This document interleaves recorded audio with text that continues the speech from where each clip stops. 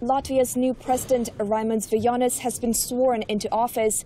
He has pledged to make national security his top priority, referring to fears over Russia's military aggression in Ukraine. The 49 year old is the first Green Party member to become head of state in the European Union.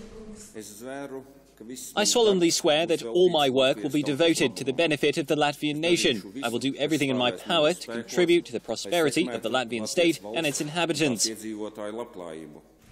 Vejonis served as defense minister from 2014 and has been a vocal critic of Russia's annexation of Crimea and Moscow's military intervention in East Ukraine.